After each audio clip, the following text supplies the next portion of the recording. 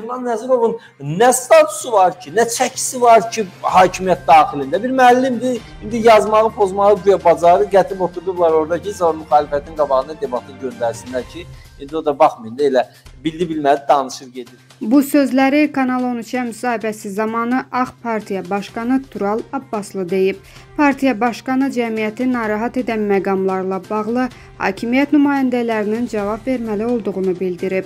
Niyə Müdafiə Nazirliyi, Xarici İşlər Nazirliyi nümayəndələri gəlib burdan xalqa sözlərini demirlər deyə Tural Abbaslı əlavə edib. Baxın, əslində mən sizə söz bilirsiniz də şərh yazanların qərəzli, qərəzsiz olur. O dəqiqə bilinir nədir, nə deyil, amma Sevda xanım kimi mövqeyi olanlar çoxdur. Adi vətəndaşlar içərisində ki, nə qədər rus burdadır, belə olacaq və ə, hakimiyyət bunu tətmin edəcək cavablar verməlidir. İndi mən durum məsələn Sevda xanıma deyim, Sevda xanım elə olmayacaq. Biz inşallah rus qoşunlarını çıxardacağıq. Əvvəl axır biz e, tam müstəqilliyimizi bərpa edəcək filan beşməkan. Yəni belə çıxmasın. Mən inanıram elə olacağına və elə də eləyəcəyik. Yəni iqtidarların kim olmasından asılı olmayaraq biz rusları Azərbaycan ərazisindən çıxardacağıq. Amma bunu ə, Sevda xanıma bunu və ya digər bizim tamaşaçılara bunu arxayın salmaq müxalifətdən daha çox hakimiyyətin işidir də. Hakimiyyət bu işlərlə məşğul olmalıdır da. Yoxsa hakimiyyətin yeganə işi qazın qiymətini qaldırmaq, suyun qiymətini qaldırmaq, işığın qiymətini qaldırmaq olmalı deyil ki.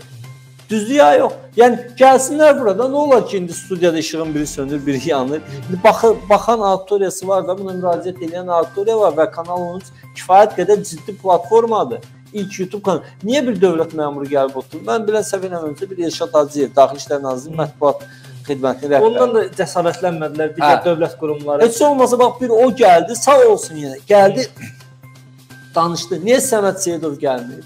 Məsələn, düzdür bizim Avropa şurasındakı nümayəndələr. Bir də sizin opponentiniz olmuş Elman Nəsrov gəlib. İndi haqqı gedir. Dedi orada Elman Nəsrov nə deyə bilər? Bax Elman Nəsrov nə deyə bilər?